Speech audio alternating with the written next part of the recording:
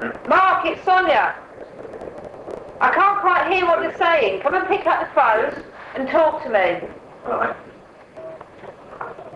Yeah. Then I can't hear you.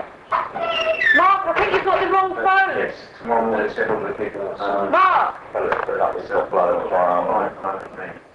Um, but that could be. Mark, can you hear me? De- Definitely. Really, really worried about you. one moment, I'm not really You sound really upset, Mark. Ron Holmes, uh, please, I'll get that, mate. Uh, yes.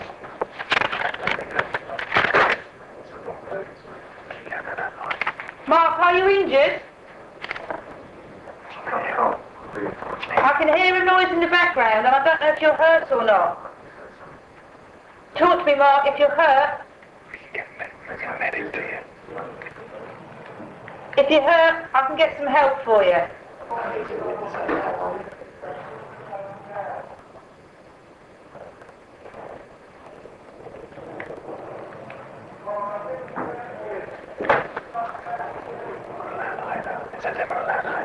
Tell him, Ken, he can't hear. Mark, if you can hear me, I can hear you. Goodbye, goodbye, before. Mark, you need to pick the phone up.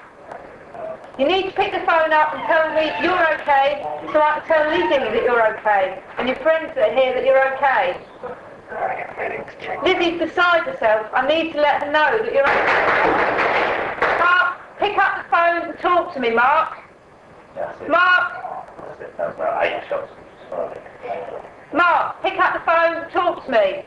I heard the shots. I'm really worried now. Mark,